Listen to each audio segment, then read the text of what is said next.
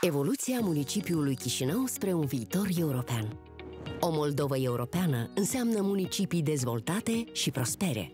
În ultimii ani, datorită suportului Uniunii Europene și partenerilor de dezvoltare, în localitățile din municipiul Chișinău au fost investite peste 2 miliarde de lei.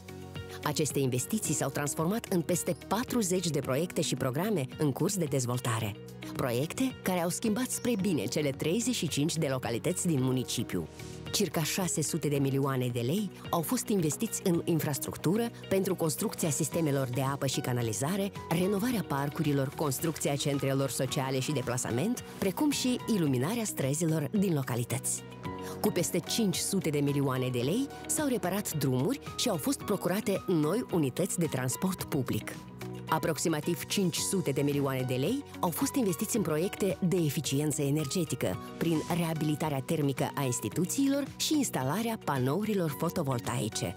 Peste 400 de milioane de lei au fost alocați pentru colectarea, gestionarea și prelucrarea deșeurilor din municipiu. Din alte 200 de milioane de lei au fost reparate și dotate spitalele și centrele de sănătate cu utilaje medicale, echipamente moderne și mobilier nou. Mai multe biblioteci, școli și grădinițe au fost renovate și dotate cu echipament digital, investiții care au constituit peste 10 milioane de lei. Toate aceste investiții au schimbat spre bine viața oamenilor din municipiul Chișinău și ne-au adus încă mai aproape de o Moldovă europeană.